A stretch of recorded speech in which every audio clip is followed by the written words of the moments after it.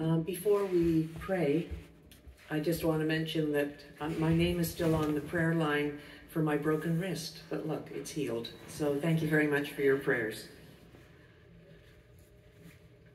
Good morning, church. My name is Pamela, and I'm here to pray the morning prayer. Please humble yourselves and we pray.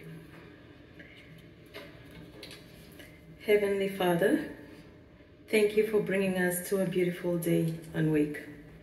We thank you for your mercy and grace and for waking us up this morning and keeping us safe throughout the night. We remain forever grateful for your faith, that we trust in you and will forever be founded in your love and never be distracted by the world and all that is in it. Please send your heavenly angels to protect us and our loved ones. May you mend every broken heart, touch all who need healing, and comfort those who are mourning. Bless those who have financial needs, and above all, bless this ministry that will receive your word and love. May we be kind and loving to each other.